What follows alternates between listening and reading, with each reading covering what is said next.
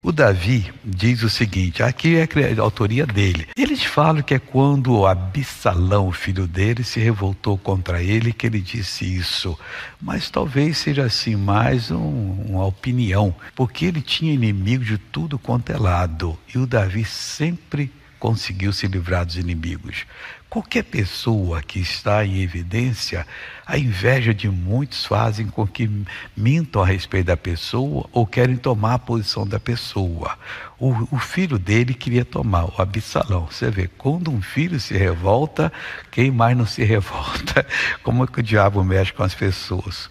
O filho do homem queria tomar o lugar dele. E, em certa maneira, chegou até a tomar ele teve que refugiar-se em Deus, dizendo o seguinte: Senhor, como se tem multiplicado os meus adversários, meus inimigos? Eu pergunto a você: você tem vivido em paz